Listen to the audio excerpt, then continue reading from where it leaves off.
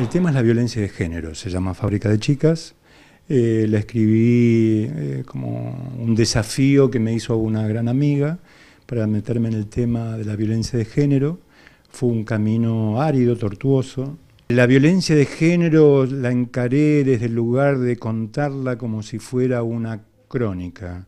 Em, todas nuestras obras de la compañía Faro tienen un tema que es lo onírico, lo mágico, el humo, lo metafísico. Y en esta obra yo no podía poner una cosa así porque si no estaba poniéndole, este, por decir algo, un profiláctico a un tema tan difícil o pasarlo por este, cosas que no, me ayudaban a contar la historia. Entonces decidí contarlo como una crónica. Son tres días, este, son tres cuadros.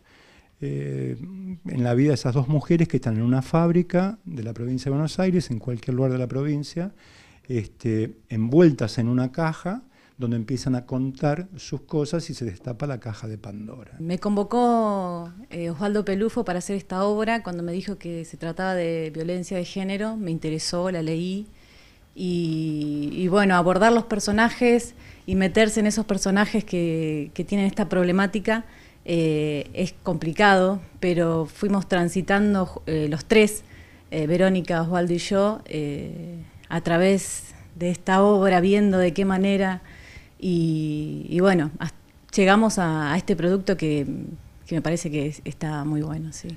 Me parece que es importante como tanto en el teatro como en cualquier otra área artística.